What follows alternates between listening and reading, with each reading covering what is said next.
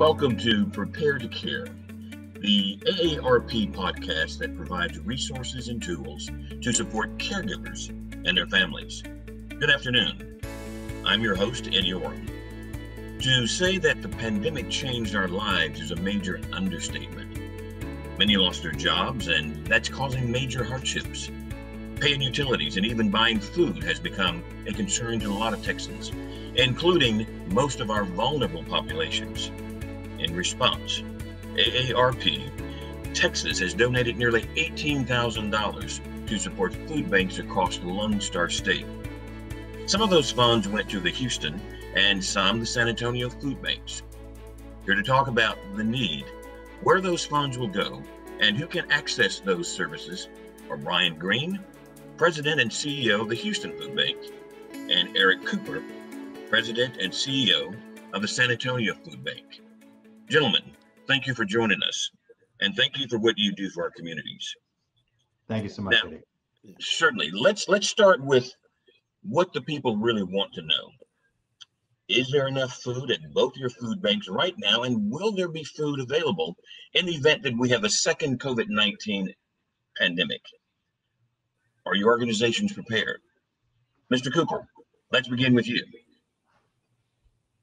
Well, Eddie, thank you so much. You know, Brian Greene at the Houston Food Bank and myself are a part of a national network of food banks uh, called Feeding America. And in Texas, there's actually 21 food banks serving all 254 counties of the great state of Texas. And we just have the privilege of representing the best two cities in the state.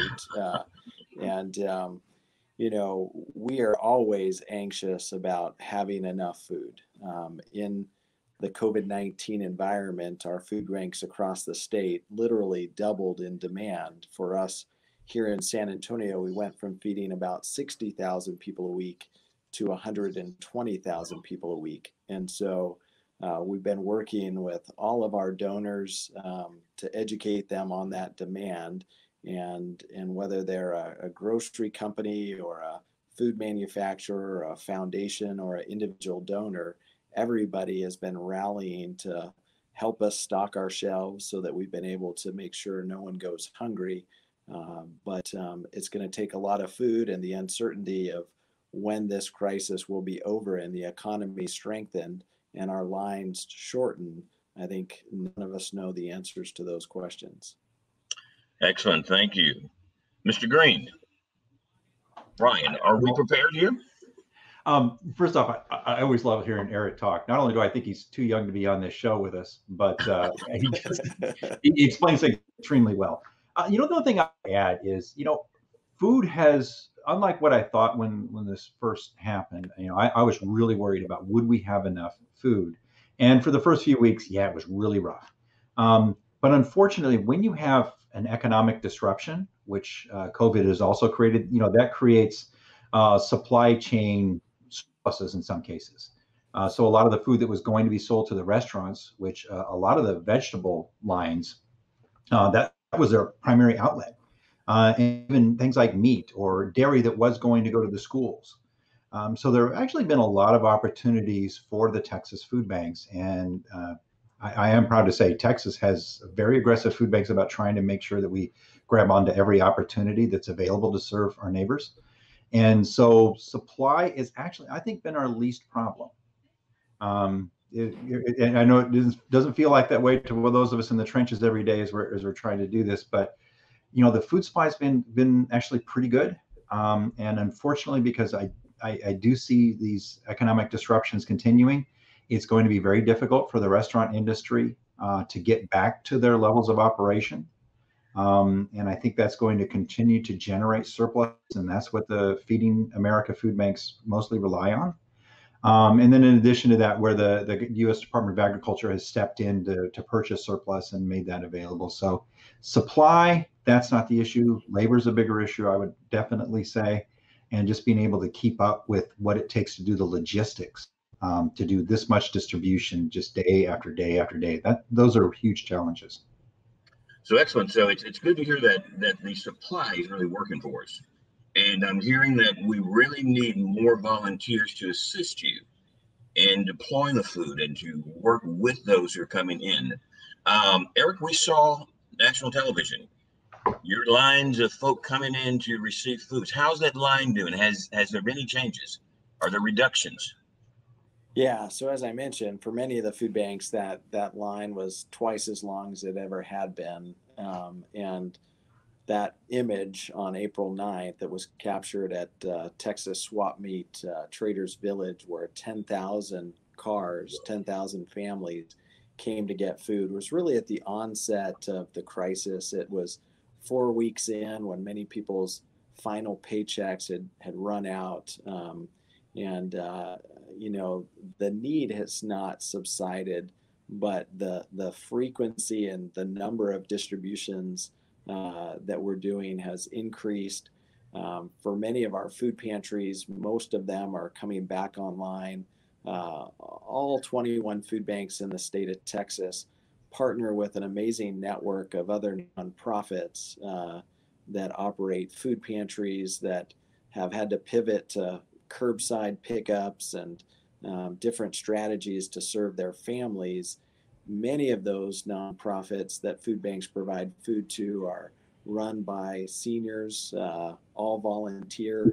And for many of them, the crisis, the virus, uh, um, you know, caused them to, to, to close their pantries. Um, but as, as they've felt more comfortable and are able, many of our food pantries are now back online and more distributions are occurring and uh, we're able to manage the line a little more effectively. But I think bottom line, um, there's some early indications that um, the the lines are are shrinking a little bit, but um, you know, for us here in San Antonio, we haven't seen too much relief through the stimulus checks or the increased unemployment benefit. It still seems to be at a COVID high, and we are are just hoping that uh, the strengthening of the economy will will start to shorten our lines. So, Eric, what's your greatest need now? What can volunteers do to assist you? Uh, Brian, understand that that you're looking for people to help with the dispensing of food.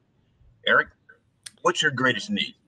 Uh, you know, I would think uh, funding is always the the biggest uh, demand, um, and uh, you know that we always, I think, for all food banks would say uh, food, time, money, and voice. You know, food through um, you know food donations and as brian mentioned there's some interesting things happening in the in the supply chain that at the moment uh, food is coming in uh, time through volunteers dollars through contributions but then people raising their voice you know uh, the appropriate amount of advocacy um, and and really helping people understand and and prayer when appropriate but um, you know, ultimately, we'd love to get families out of our parking lots and into grocery stores. And the way we do that is by meaningful employment, a living wage, and uh, this COVID economy at the moment just doesn't have the opportunity for all Texans to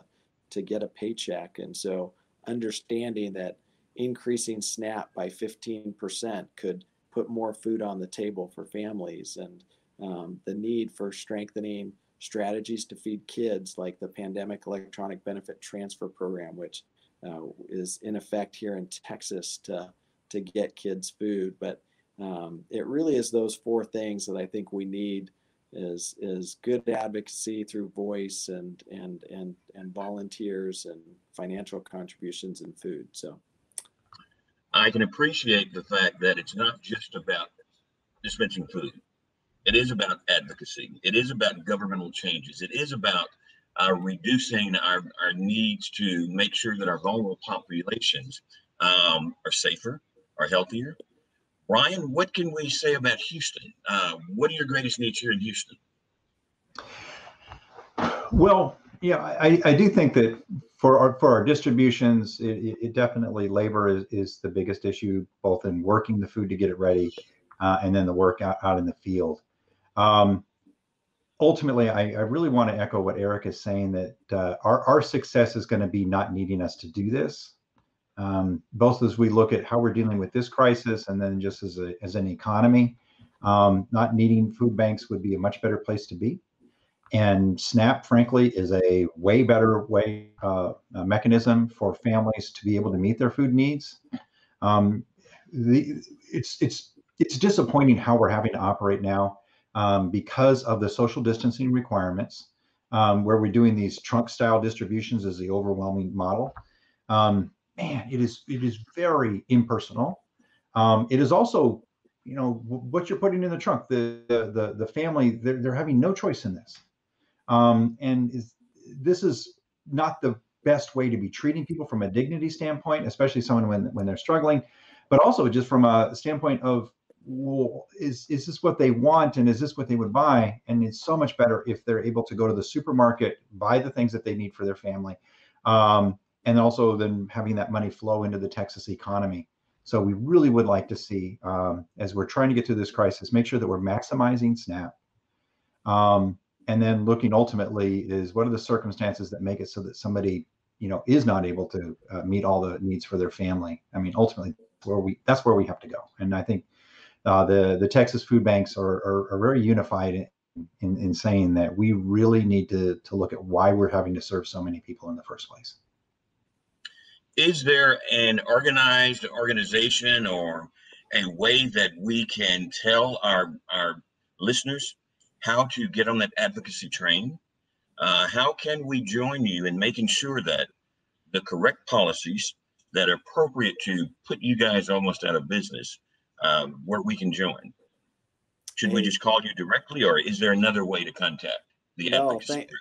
Thanks, Eddie. What I'd encourage all viewers to do now is to, to go to feedingtexas.org. Um, you can register there to become a, an advocate. Uh, uh, also, if you visit, you know, the Houston and San Antonio Food Banks websites, just just getting involved um, is critical. Um, and and understanding the issue as as Brian talked. I mean, um, the COVID nineteen crisis just exposed what food banks knew all along, and that was many families are um, struggling, and many families uh, uh, are struggling because they don't make enough. Um, I've had the privilege, and Brian too. We've we've been at this work for a few decades. Um, and when I started, there were so many families that we fed that were unemployed. Um, we then got into just before COVID, and everybody's working, but the line is still there.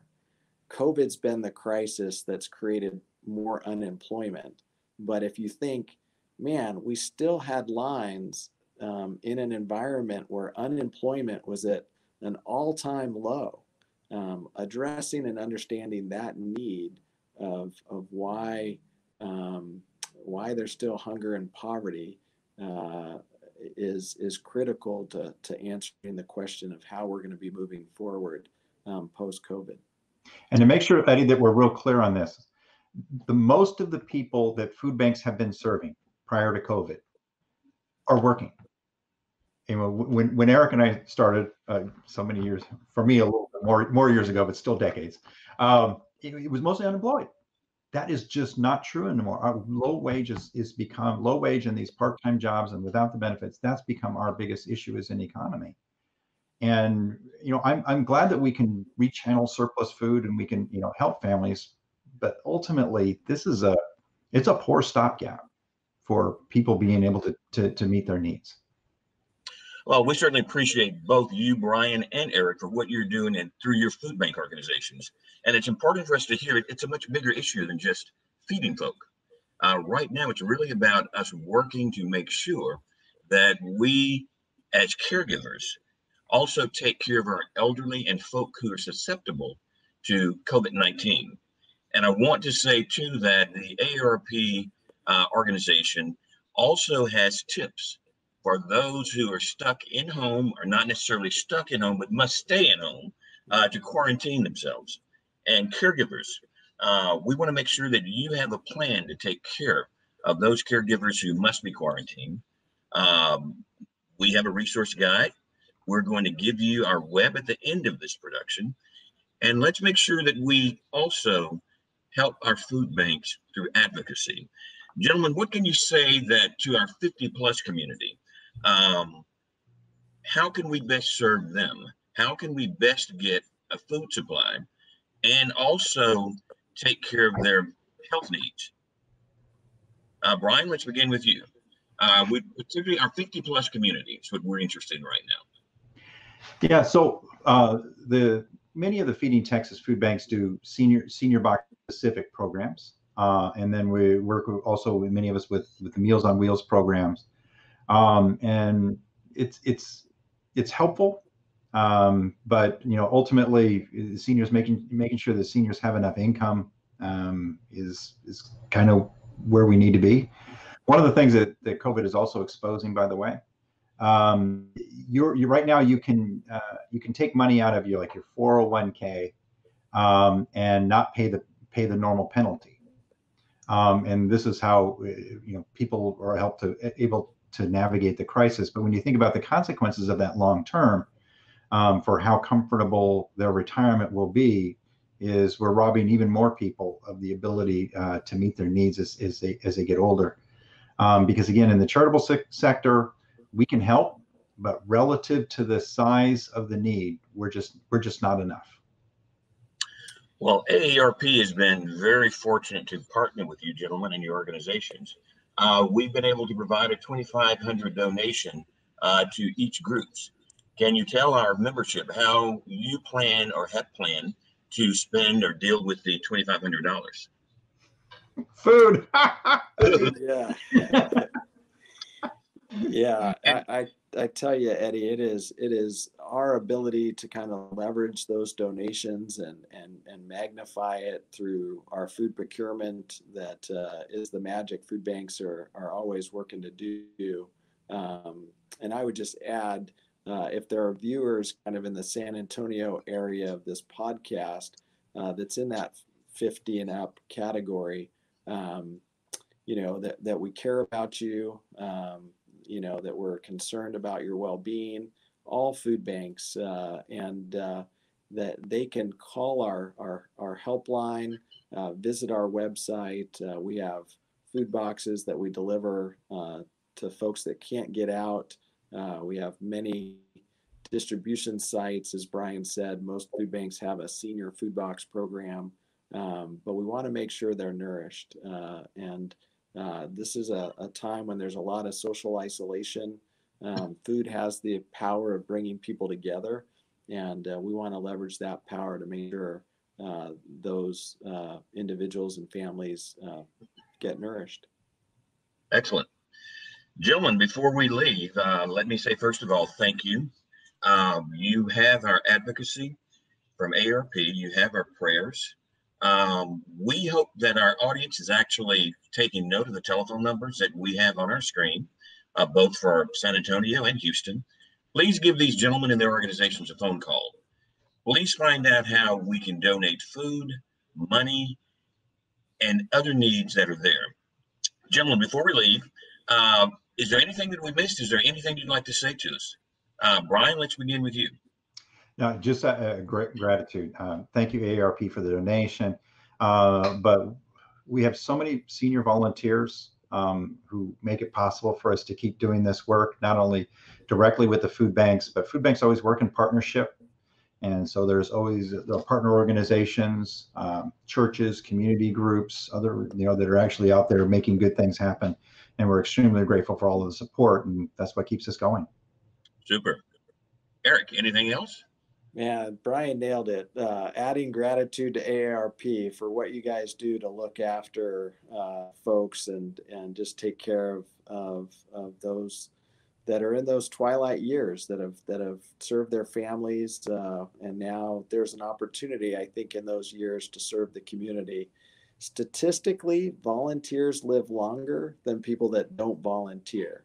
So the, the real secret of aging is to um, get involved in the community, continue to serve, and uh, through service, there's a lot of healing powers of, of body, mind, and spirit, and uh, there is ample opportunities across the Texas food banks um, for people to engage and give a little bit of time and, and serve, and you'll live longer because of it. Thank you, gentlemen. We appreciate both of you and we ask that you be well. And to our audience, we encourage you to follow the Prepare to Care podcast. You can receive us on iTunes, SoundCloud, or at www.aarp.org slash Houston PTC. I want to thank each of you for listening, and as always, thank you for caring.